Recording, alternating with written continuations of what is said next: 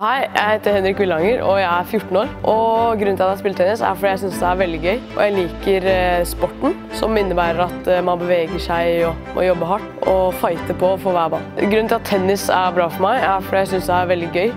Og jeg trives veldig godt når jeg spiller tennis.